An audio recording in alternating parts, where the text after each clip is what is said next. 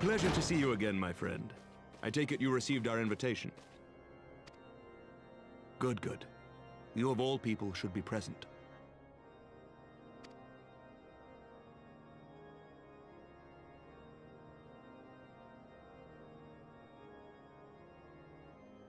When the true brothers of the faith seized control of the vault, I feared the worst.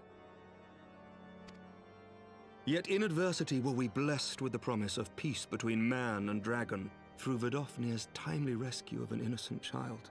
Timely, I say, though miraculous or providential might better describe the event. The gods themselves could not have devised a more fitting symbol of hope. Needless to say, we could scarce let such an opportunity pass us by. Which is why I set about making formal arrangements for a peace conference between our peoples.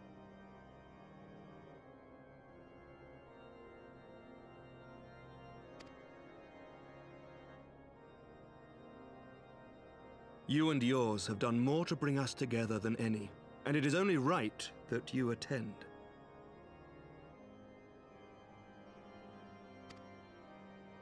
But I confess that is not the only reason I would be glad to have you there. Given Nidhogg's implacable opposition to the peace, it is possible that he and his followers may attempt to disrupt proceedings, in which event your presence would be a comfort to all in attendance.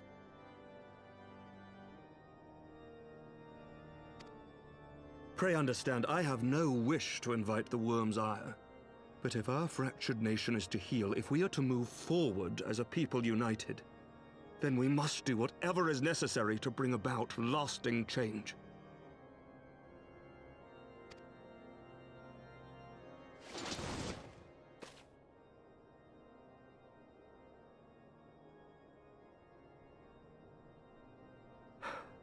Tis nothing.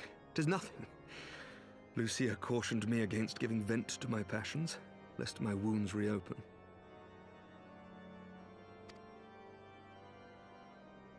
It has not been easy reaching out to our opponents in Ishgard, many of whom sympathized with the actions of the true brothers.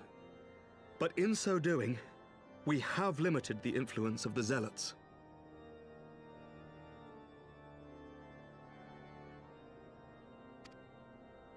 The people are ready, my friend. This conference must go ahead.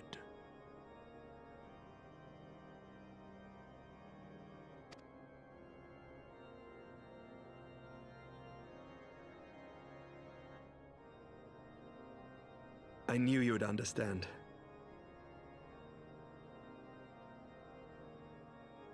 The conference will take place on the border of Ishgardian and Dravanian territory in Falcon's Nest.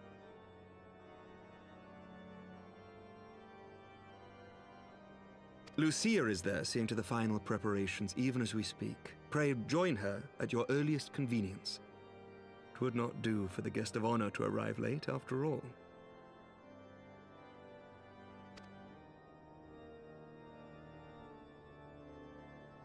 Oh, and uh, one more thing.